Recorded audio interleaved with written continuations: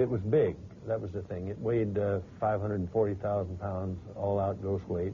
It was 189 feet long, much, much bigger than this. Big, bigger. It, it was more like the size that uh, we thought our supersonic transport was going to be. The cockpit was located way out in front of the nose wheel. How was it to uh, taxi a, a machine like that? Well, you had to you had to learn a little bit because you you went by if you wanted to make a left 90 degree left turn as an example. Your cockpit went well beyond the turn point because you, your nose wheel was so far aft behind you, and then you made the turn and uh, hoped you judged correctly. But after a little experience, uh, you got so you could do it very nicely. How was it to fly?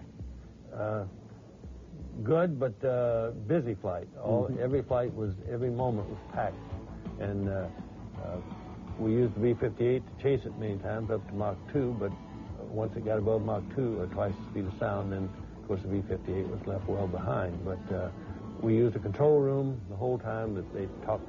You know, they followed us and talked us through a lot of the maneuvers. But uh, the actual handling qualities were generally pretty good.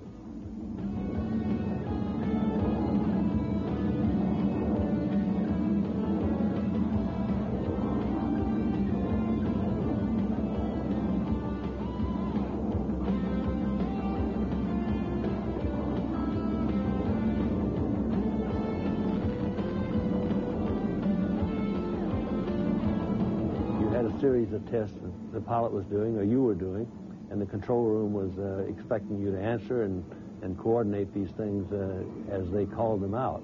And in the meantime, you were navigating over at Mach 3, you're doing, uh, you know, 30 miles a minute.